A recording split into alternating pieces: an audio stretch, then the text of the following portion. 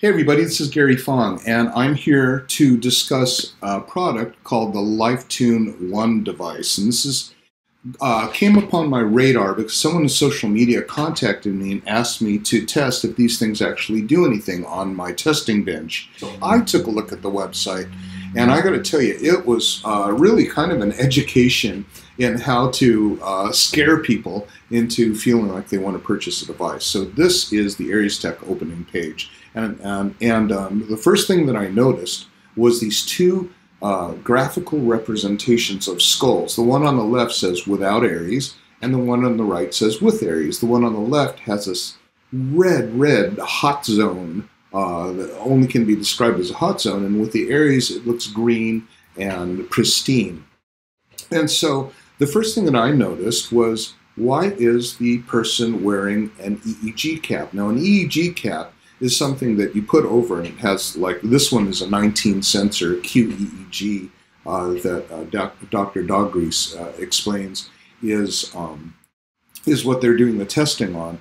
And I know from experiences with EEGs that um, I, have had EEGs, and what they do is they, they put these electrodes on your skull, and then they, they give you the you close your eyes and then they give you all these little like flashing light patterns and they want to stimulate different parts of your brain to see how your brain actually uh, uh, responds and so what happens is if there's an anomaly like something irregular happens uh, in your brainwave response which is not typical for people of your profile and this is what he briefly calls a z-score uh, or a baseline. The baseline is what most people would react to blinking lights in this color. Yours isn't. So it's either it's overreacting, underreacting, whatever it is. The red shows an anomaly, and um, so but it doesn't show heat. The electrodes do not show heat. And so in, in this website, they, they explain, it says uh, on the internet, they said Dr. Dogris is explaining that the EMR is causing the neurons in your brain to overfire. It doesn't really say that. It's just an anomaly. It might not even do have anything to do with how your brain fires because there's a moment in the video where he asks the male subject to clench his teeth and you see the 19 needles all go crazy and that would be an anomaly. So that's not heat. That's just not um, expected. So it, they have this cause and effect thing. These you have to be very, very careful when you're advertising uh, to be free of any FCC or fraud claims that you don't have a cause and effect that you can't prove. And what's really most outrageous about this is you would know that there is no heat that is detected through those uh, electrical uh, uh, contacts, conduits. So um, I'll just go ahead and I'll show you the video because this is the part that's that's really interesting. And wherever uh, it's on social media in their advertising, they say, I highly recommend watching these two videos where we did a study with a neuroscientist to test these products for explanations. Okay, so let's just go ahead and play it. Okay, so we're going to do a brain scan. Okay. Uh, this is a 19 channel EEG cap, and it's going to pick up the tiny electrical signals created by your brain. On the right there is what you look like after 10 minutes of having the phone up against your head with no Aires device. That's wild. It's very significant. There's a lot of red on there. That's insane. so this is what it looks like when you have the Aires. Oh, ha, it's even better than the baseline. How did they do that? Can't believe how different they are. Honestly, I thought there would be like a little bit of a difference, but this is pretty insane. That's really cool. A small device like that can make such a huge difference. I'm very surprised at how well the device works, and I want to like give it to like all my friends and family. Like, you have to have this. Oh my God, there's so much red. I didn't know this little tiny sticker could do so much stuff. The cause and effect um, intention here to, to show you what it does is the problem because it is not red because of heat. And the reason why that is uh, that that can scare us because we're all aware uh, in some way or another of thermal photography. Thermal photography, if you've watched movies, you've seen like from a satellite, the soldiers going across the wooded field, and they, they glow like this, you know, red for the heat and green and blue. and whatever. Or when they're like kind of looking through a building and you can kind of see the bad guy going from room to room through thermal photography, that is what they're seeing. They're not actually seeing in thermal photography a visual image, they're detecting the heat and then producing a graphical representation of what that outline is through the different temperatures through infrared photography. But this image right here looks scary because it says when you stick this thing up to your head, it becomes red. When you take it away or put a sticker on it, it becomes green. I want you to know that has nothing at all to do with heat. And the problem where uh, Dr. Dogris has a uh, credibility issue is to be saying, he says in the video, I'm a scientist, so for me, uh, I really need to see the numbers. It's important to get the data. He says in the video, you know, I'm a science guy, I work with data, and he says the data shows that there was a heating effect from the uh, cell phone, and and and uh, I'll go into it a little bit more. I can't wait to show you guys the tests of what happened, and the response to the tests is, is quite remarkable. So, what is thermal photography? Thermal imaging is simply the process of converting infrared radiation into visible images that depict, depict the spatial distribution of temperature differences in a scene viewed by a thermal camera. There's no thermal camera on a person's scalp here. It's just basically electrodes showing QEEG. So, what is QEG? A QEG is um, a diagnostic tool that measures electrical activity in the form of brainwave patterns. It is sometimes referred to as brain mapping. So, what happens in a QEEG is it basically has electrodes and it senses what your brain is doing. Bzz, bzz, bzz, That's not heat. Later, uh, Dr. Dogris uh, attempts to uh, infer that it is the actual neuronal activity of the brain's overstimulation that actually produces the heat. But if it's the brain producing the heat, isn't the brain the culprit in this? he actually says some really interestingly funny things. Like he says, you know, people, people really don't, don't understand. understand. what the impact of heat is on the body. When you expose the body to an EMF that's really fast in the gigahertz range, there's a lot of spin there. It's going to create a lot of heat. Heat kills cells. That was the case, and you know, don't go to Las Vegas, Palm Springs. Um, so um, I asked ChatGPT, does a QEG measure heat? It says no. A QEG does not measure heat. It's a diagnostic tool, as we know now from this video, that measures and records electrical activity of the brain using electrodes placed on the scalp. It provides information about the brain's electrical patterns and can be used to assess brain function and identify abnormalities. Heat is not directly measured by a QEEG, but this is basically what they're showing you that it it is the danger is he's doing a cause and effect relationship of this to heat, to radiation, to damage, and he he's saying that the sticker makes the heat go away. So he's just basically talking pretty much out of his ass at this point. Um, but he says that the uh, this little sticker reduces the heat, and I'm going to stick to that one part because if you make a cause and effect claim, you better know what you're talking about. He says that he's a scientist and he works with data, and he says that the QEEG shows that there was heat and then it was reduced by the Aires uh, sticker. Now, one thing I'm going to show you is uh, I'm going to show you the test that I did showing with fabric that is EMF protection fabric how it completely squelches the flux from the telephone of electric field radiation measured in volts per meter. And then I'm going to show you how the Aires did absolutely nothing. And then I'll show you how the Shungite did the same thing pretty much as the, uh, as the radiation proof fabric. This right here is bona fide military grade EMF fabric. Now nothing can get through this. This is great to wear as clothing. You can. Uh, I have a hat that has this, and uh, unfortunately you can't make a phone call through it, but it will keep the radiation at bay. so the thing is, is the best kind of radiation protection is to turn off your cell phone and your Wi-Fi routers. And when you can't, uh, when you can like have protective fabric over, you can put that over, but it's on your uh, electronic devices. It will block the signal. This phone is on. Um, it's not blocking any sensors. I do this because people go, oh, you're just blocking the sensors. So it's not blocking the sensors, but it's definitely blocking the radiation. This LifeTune device is uh, supposedly has a microprocessor in it that uh, they don't. I think they they don't say that it blocks EMFs because they can't. They say it harmonizes the EMFs. But here's my thing: we're just going to see if it does anything because this thing will show you EMF fabric protection will kill the flux. Shungite will kill the flux. Let's see if this light tune does anything. Just put it right here. Take it away. Shungite. Take it away. Life tune.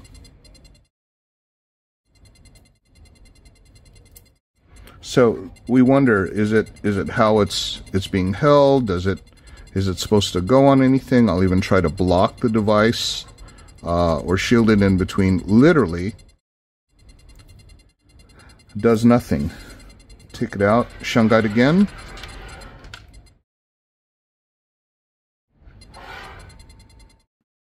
So not only is the problematic issue that they try to infer that a QEEG shows a cause and effect proof that the sticker reduced heat.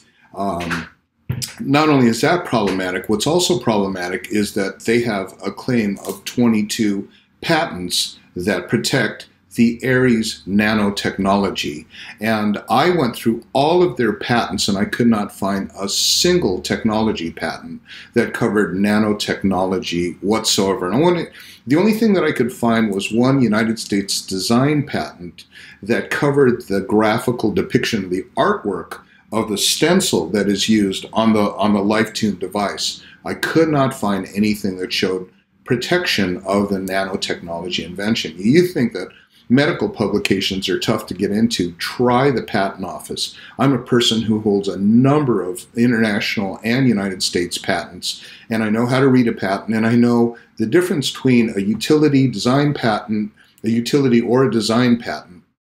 And I could not find a single utility patent on here. Um, what they show is they say that they have 22 patents, but what they really show is one US design patent, an expired Russian patent that uses the same stencil to cover an optical uh, thing. So something to do with improving your vision, which has nothing to do with harmonizing uh, electromagnetic radiation as they claim using nanotechnology. And the thing is, is in a patent, man, you've got to be precise about what you claim, what the original art was the, of people who have done anything like that before you, and why your invention has never been shown. This is called the original art, and you're supposed to submit that. I saw nothing of the like in here. In fact, all I saw was a plurality of Canadian industrial design registration certificates, and those are not patents. So you have to be so careful if you want to stay away from uh, a class action lawsuit, uh, uh, um, a, a, Federal Trade Commission uh, problem. You want to stay clear of that by not claiming that you have patents that you don't own. And I went onto Facebook and I asked them, I said, show me the patent. Uh, you show me the patent number. I, I know how to read a patent. Show me the patent. And they kept saying, "Oh, well, uh, yeah, they're they're listed here." So I, I just got into a complete runaround. Um, but their patents actually could not find one. So this is really problematic to say that you have 22 different patents here. But when I looked at them, um, you'll see that there's a design patent, there's a design patent in Russia. And a design patent, all it does is it covers the artwork. Now, utility means I've invented a zipper that has interlocking um, uh, levers that when a attachment device comes, it locks the levers, and when it comes back down, it reattaches it. And that is a utility uh, patent. A design patent would say, I've got a zipper that has red teeth on the left and green on the right, and a yellow uh, pull tag. That is a design patent, has nowhere near the broad uh, protection of an invention because it's just basically like a, a trade a trade dress or trademark kind of a claim. And what they've done is they've patented patented in a design patent the graphical representation of their um, of their thing. The Russian design patent was something where they used the same artwork, but they claimed that it had something to do with uh, helping your eyesight. So that this is something that's completely um, uh, problematic, I think. And I think that it, it exists here so that the public who doesn't have the breadth of knowledge as a person with a scientific medical background or a person with a lot of patents, uh, uh, most people would not know what they are. And when you don't know, you can get snowed. And that's why I feel like a duty to come out here and show you what the problems are with this website and the representation of the product. So the conclusion that Dr. Dogris comes up with, and it says so right here, he says, we have a device that's not going to cause heat. You don't get as fatigued, reducing the heat, reducing the cellular damage. It means you're going to be healthier. There's a lot of different things there that are taking us in the right direction. I think that's a pretty good benefit. Okay, so I wanted to wrap this up by saying that we are, or lay people are so often confused by the information that are given out by people who call themselves scientists. And they say, because science, or, you know, um, or you don't understand science. Well, the thing is, is I do understand science, and I do understand when people are being misled. And so these people who are desperate for solutions because they're feeling awful or they're having all kinds of different um, afflictions with radiation exposure, and they go to people who call themselves experts and they say, well, you know, it's this and it's that, and you trust and you believe them. I mean, when I talked to that lady and she was so sad about the fact that she spent so much money and that it did absolutely nothing. And you know, the thing is, is yes, there is a placebo effect of uh, you know having something and going, oh my God, this this thing is just the most amazing thing ever. There is that, but I want to go past that and do tests to see if there is an efficacy, and the efficacy is my question is does it prevent radiation damage and that's the thing that's important so when someone says well it it something that's purported to be in the press as an EMF blocker, and then later they say, no, it doesn't block radiation, it harmonizes radiation so that it becomes more in tune with the biological radiation of your body. That's completely a fallacy because radiation comes from an emission source. So if your body is emitting radiation and you have a phone that's emitting radiation, then does the two radiating devices cancel? Does one radiation device cancel the other when it's it, it's uh, coming from a source? But to say that a sticker is going to prevent they they literally on one of their products it says has a 139 foot uh, radius uh, of protection. To to say that a sticker will give perimeter protection against radiation harm by taking those things and having it has multiple microprocessors that are passive. You know they don't require they're not active processors they're passive processors which is not how a, a microprocessor works at all um, and saying that what it does is it takes those waves, it doesn't really block them, it harmonizes them with your natural radiation. That's complete, complete hogwash. And um, to say that is, and then to think that somebody spent over a thousand dollars of their very, very scarce money to buy these stickers to think that that would help them find out that they don't help, and I'm sorry, but they ask a person like me who does benchmark tests and says, Does this stuff work? It feels bad to show them that it literally is just a sticker. And um, and that's that's hurtful because you know I, I don't know that they'll get their money back. The the false claims and the braggadocio and, and the the complete gaslighting of facts is something that's pretty hard for me to sit by and watch. Um, it's like it's like watching a train wreck and going, yeah, they, they should definitely probably uh, try to think about safety. To think that these purported experts are out to protect you, and it's going to cost all this money to protect you and your family, and aren't your loved ones worth protecting? That's a real hard uh, proposition. So, in taking up the cause of all these people that have been hurt by these practices, I am going to definitely take a lot of action to ensure that people are educated and that they can't be snowed. So please share this video around and help other people to look critically at very, very specious claims of efficacy for things like like this. Okay. Anyway, thanks for watching. Gotta go.